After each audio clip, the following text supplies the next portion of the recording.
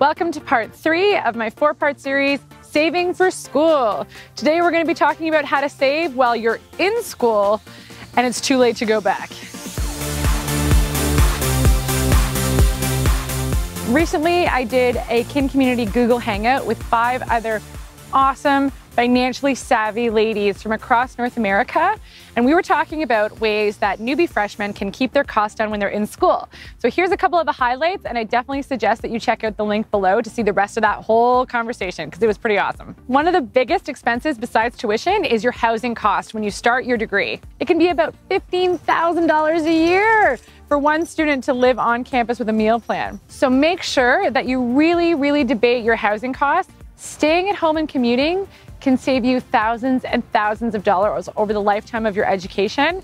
And if that's not an option, looking into living on campus versus renting a place yourself, just make sure you do your homework. Renting on your own can seem cheaper, but you just want to make sure that you're adding in things like food and utilities, cable, internet, all the extra stuff that goes with having your own place and choose the cheaper option. So, a second tip that came up in our conversation was talking about keeping your meal plan costs down if you're living on campus.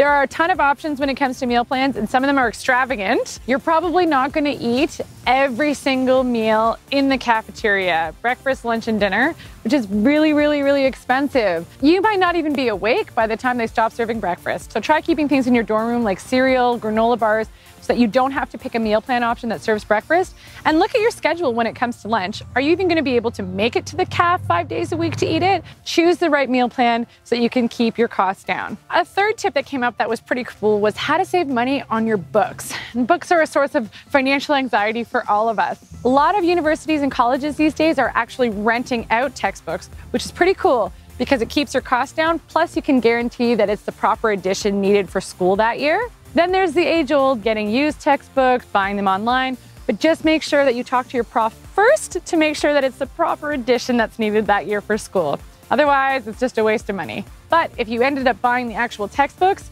Take care of them throughout the school year so that you can sell them again online to a student coming up next semester. Another thing that we talked about was really interesting for me because it's a tip that you don't hear often when you're talking about how to keep your costs down at school.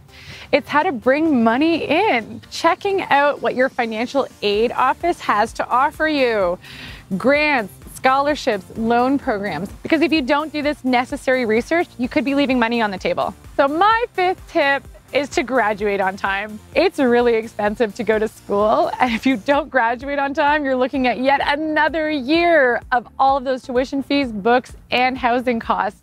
Yet again, it's expensive to do a victory lap. So just make sure you study hard. And last but not least, one of the things that came up time and time again in our conversation was to just watch how much student debt or credit card debt you incur over your entire four year degree. I know that university is bonding time and going out is awesome, but just make sure you watch your costs because everything that you put on that credit card, you're gonna have to pay it back one day. It's not free money. So just make sure that you're keeping your finances in the forefront of your mind when you're making decisions during those four years. There was a ton of different tips that we talked about in that conversation, and everyone should be watching it. So click on the link below make yourself a cup of tea and sit back and listen to all of the financial savviness and save yourself a ton of money when you're in school. So tune in next week for our fourth and final part of Saving for School series. We're going to be talking about what happens to the money that's inside the RESP if your baby doesn't go to school.